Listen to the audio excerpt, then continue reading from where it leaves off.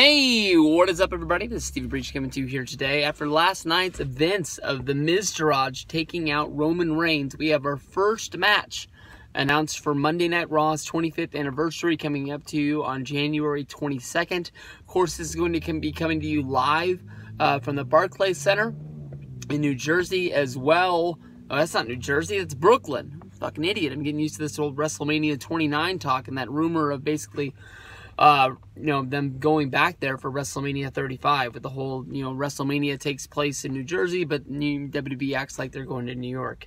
But, um, you know, they're going to be uh, having Monday Night Raw coming to you live from the Barclays Center as well as from the Manhattan Center um, down the street from Madison Square Garden where Monday Night Raw was first born. Uh, the first match named, of course, is going to be an Intercontinental title match. Is going to be the Intercontinental Champion Roman Reigns going up against The Miz. Um, They've been going back and forth for a little while, but Miz took some time off um, to go on the USO tour, and I think after that he went and filmed some sort of a television slash movie deal. Is the reason why he hasn't been on Raw the, the past few weeks, and we've only seen Bo Dallas and Curtis Axel um, acting like idiots out there, sort of without a leader. Um, to me, I've I've always sort of thought that you know somewhere down the road, Roman Reigns has to get this Intercontinental title off of him, and um, you know, you know, a lot of times when guys are going into a lot of times when guys are going into big matches at WrestleMania, um, sort of the heat uh, in order to uh, maybe think that they're not going to be able to get the job done is have them be beat shortly before WrestleMania. Because I think everybody's on the plan of knowing that Roman Reigns is going to WrestleMania to fight Brock Lesnar for the Universal Championship. I mean, Brock has a big match uh, at the Rumble going up against Braun Strowman and Kane, but that sort of looks like uh, just Kane's going to take the fall on that one, and, and Strowman looks strong um, to go forward from there. Brock still have your championship. Uh, then, of course, Monday Night Raw is going to have the Elimination Chamber in February. That'll be where you crown your number one contender. That's where Roman will win and go on to WrestleMania to fight against Brock Lesnar.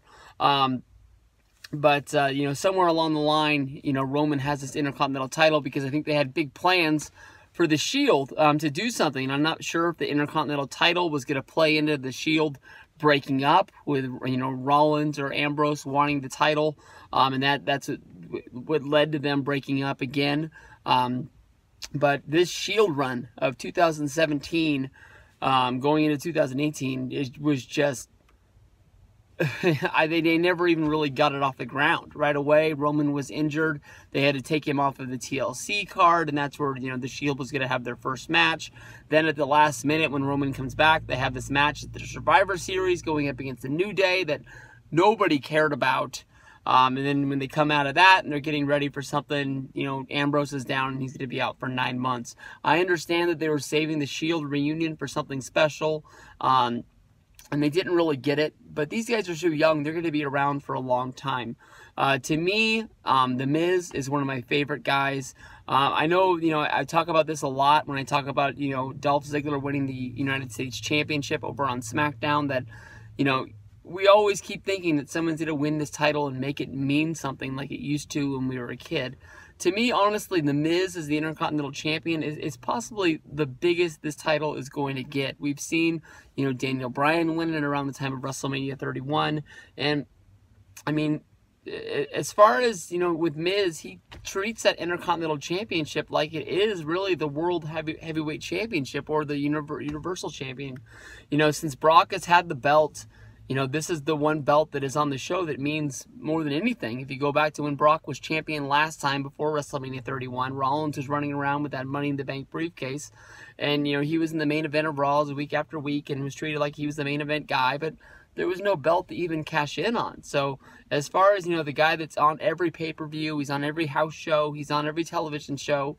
Um, this is this is why Miz cashes in and is looked at as, as one of the best wrestlers that there is in WWE right now because he can always talk the smack, he can always back it up, and, and, he finds a way to always get into it. I really believe that Raw 25, The Miz is going to win his uh, championship back.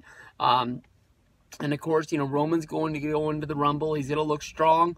Um, something's going to happen where he gets tossed out. Um, that's probably going to be one of the biggest spots of the whole thing is trying to find a way to get Roman out of the match. Um, and you know not not hurt what's going on there. But I'm looking forward to this match at Raw 25. It's going to be a big one. Miz versus Roman, uh, and this is possibly where Miz is going to win that championship back.